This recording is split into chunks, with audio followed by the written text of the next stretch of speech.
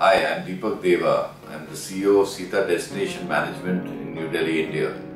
With ITB coming up next week, I thought I'd share with you some of the exciting things that are happening at Sita.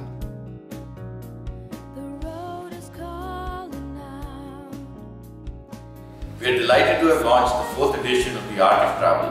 Our Destination Knowledge Center has put together some great ideas and experiences. The brochure shall be available at our stand at ITB.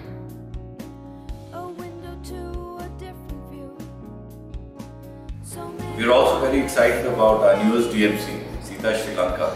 We opened our office last month in Colombo. Denise Lance, our general manager, will be at ITB to discuss the island nation.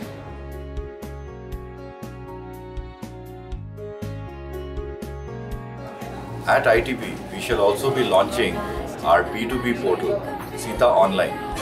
Sita Online has a wide range of products and services, as well as experiences that are bookable online.